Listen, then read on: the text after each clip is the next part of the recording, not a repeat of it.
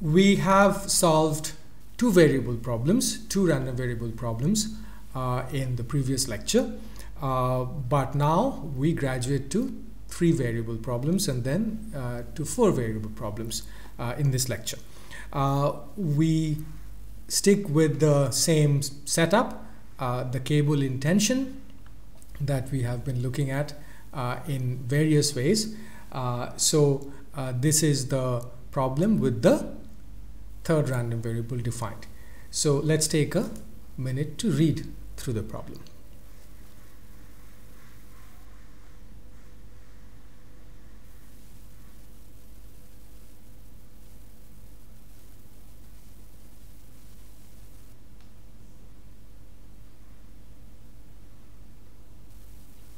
Okay, so we have three mutually independent random variables uh, y, the yield strength, a, the cross sectional area, and q, the load. Uh, they are uh, respectively y is Weibull, uh, a is normal, and q is Gumbel. Uh, earlier in the last one or two examples, we fixed q at the mean value 1200 kip. Now q is a Gumbel random variable. Uh, we no longer wish to use the second moment transformation. We lose uh, probabilistic information if the variables are non-normal. So here we would like to employ the full distribution transformation. Uh, so let's take that up. So x1, let us call x1 uh, y or y x1, uh, a x2 and q x3. Our limit state therefore uh, becomes x1 x2 minus x3 so it's a simple looking limit state. Uh, now uh, as required the distribution transformation is uh, u is phi inverse of f of x. So that's for each of the uh, x's. So i going from 1 to 3 uh, basically you can interpret this as phi of u is f of x. So that's a distribution wise uh, equivalence. Uh, now, uh, if we wanted to find out h, express h in terms of u's, uh, and then uh, find the minimum distance to that h equals 0. So this is how we would proceed. Uh, let's do variable by variable. So x1 can be given in terms of uh, u1 in a rather complicated nonlinear fashion which is what you see. This is the uh, this is the result of equating the Weibull the, the two parameter Weibull with the normal.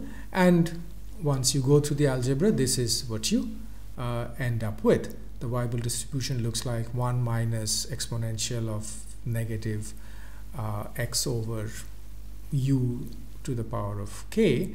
So uh, once you um, solve it this is the form. It comes to uh, the next one uh, would be much simpler because area is normal.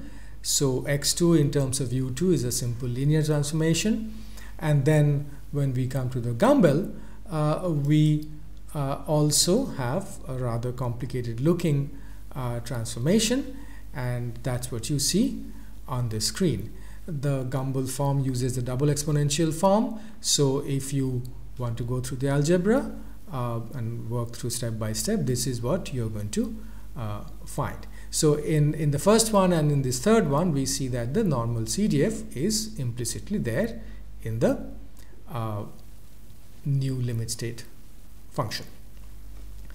Uh, obviously, this is a complicated limit state function and uh, to find the minimum distance to this from u equals 0 uh, is going to be complicated. We could do that, um, but there's not a single way of solving a problem. So what I want to show you uh, in this one is, uh, in this example, is why don't we stick to the basic variable space? Things look uh, more manageable here, more intuitive. Our limit state function uh, is quite simple looking x1 x2 minus x3 instead of something as complicated when we go to uh, u space so why why don't we see uh, what happens if we stick to uh, the x space and try to do the same thing. Obviously, we can't optimize, uh, we can't minimize the distance x1 square plus x2 square plus x3 square. That would not be right. We still have to do u1 square plus u2 square plus u3 square.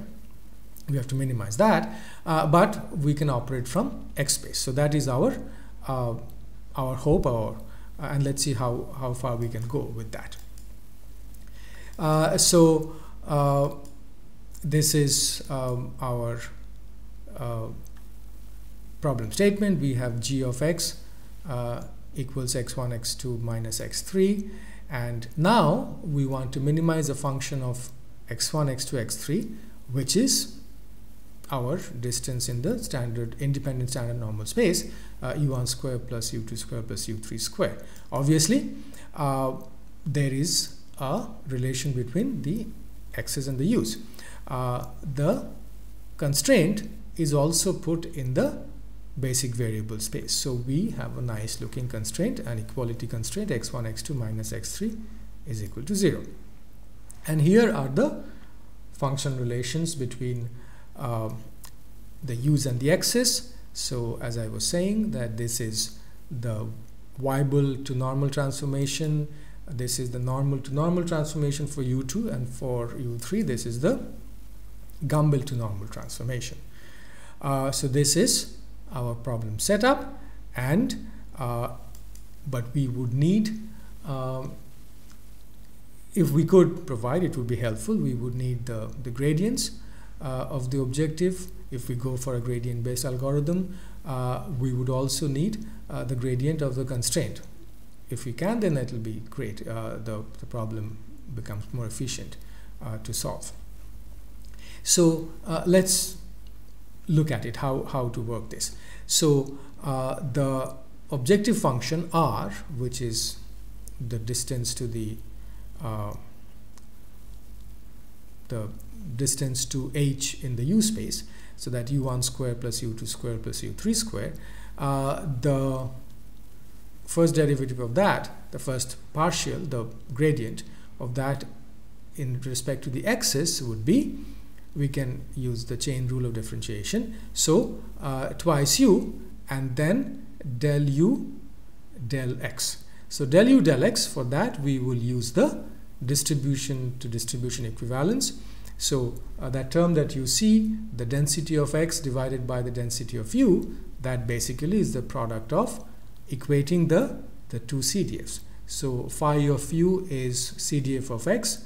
So we differentiate uh, the left hand side with respect to x so phi of u with respect to u first then partial u partial x and on the right hand side it is the partial of the CDF with respect to x.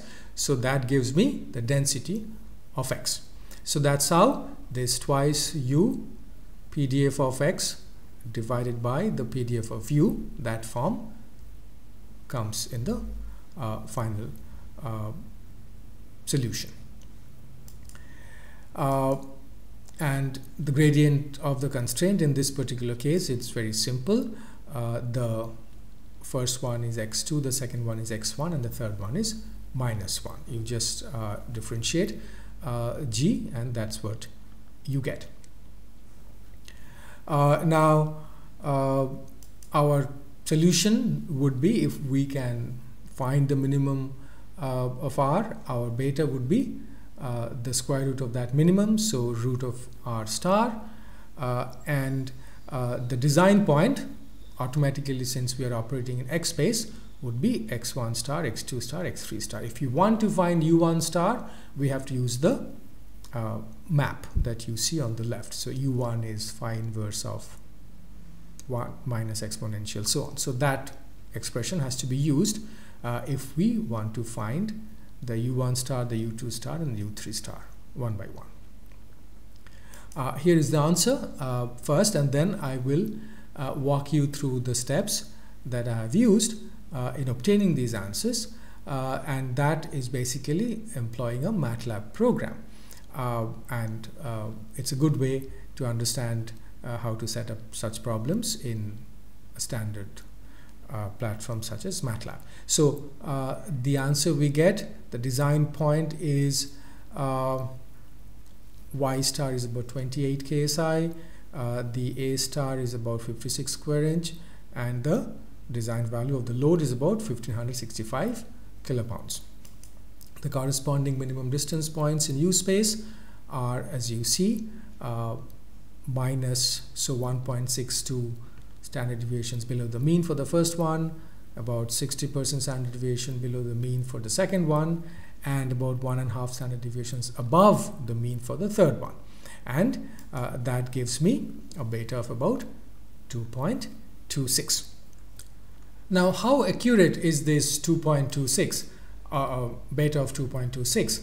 Uh, we have mentioned that uh, FORM is approximate. So to compare, uh, we later have solved this problem using Monte Carlo simulations with a good number of trials and we get the value of PF about 0.0158 which gives an equivalent beta of about 2.15. So uh, it seems that FORM is overestimating reliability or underestimating the PF and this is something we will remember uh, when we uh, take up uh, a discussion of SORM later in this lecture.